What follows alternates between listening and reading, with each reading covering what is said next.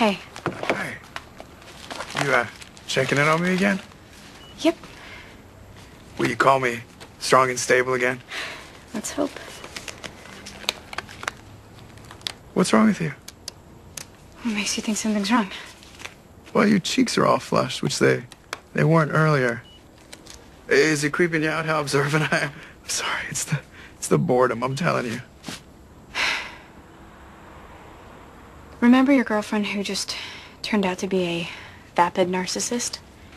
Your boyfriend turned out to just be a jerk. Jerk, ass, and many dirtier words that are inappropriate for me to use in front of a patient. I'm sorry. Yeah, me too. Well, you want me to help you plot your revenge? Okay. Okay. Here's what I'm thinking. You go out with me, just like that. Bam, new boyfriend. And he'll be all, what's he got that I don't have? And you'll be all, carotid artery, exposed. Top that, loser. And he'll be all, I can't.